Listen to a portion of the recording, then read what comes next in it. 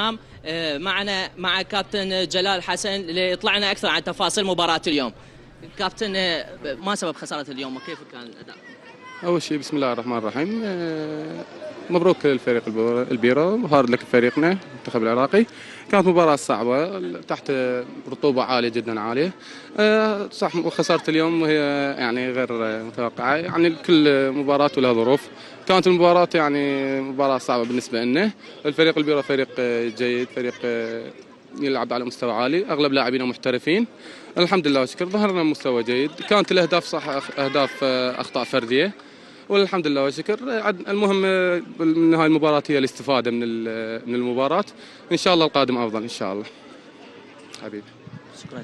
آه، هشام يعني المباراه آه، جرت آه، ب- ب- بطريقة جديدة ب- بهذه التشكيلة الجديدة آه، خسارة بهدفين مقابل لا شيء. هي تعتبر آه، مباراة تدريبية للمنتخب العراقي آه، لكي ينتقل إلى كوريا الجنوبية من ضمن التأهيلات. معنا الضيف آه، همام طارق آه، كي يطلعنا على أكثر تفاصيل همام رأيك في مباراة اليوم؟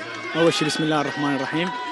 قدر الله ما شاء وفعل. الحمد لله والشكر لعبنا بأداء يرضي يرضينا ويرضي كادرنا التدريبي ويرضي جمهورنا.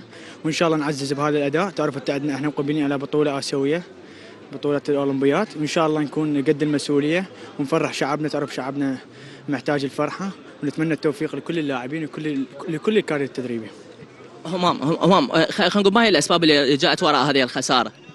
شوف يعني ماكو اي ماكو أي أسباب بس هي كرة يعني ثابتة دخلت علينا أخطاء دخلت علينا جواله كنا إحنا أحسن من عدم الشوط الثاني لعبنا وأدينا هجمنا ضيعنا فرص كثير بس إن شاء الله التوفيق من رب العالمين.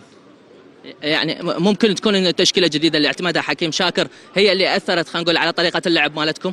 لا والله شوف نفس التوليفة إحنا نفس التوليفة خبرة وشباب. تعرف آه، إحنا منسجمين من بطولات كثيرة وإن شاء الله نعزز هاي ال- هاي هاي هاي هذا هذا هذا التجمع إن شاء الله اللاعبين ونتمنى التوفيق لكل اللاعبين الحاضرين إن شاء الله من المنتخب.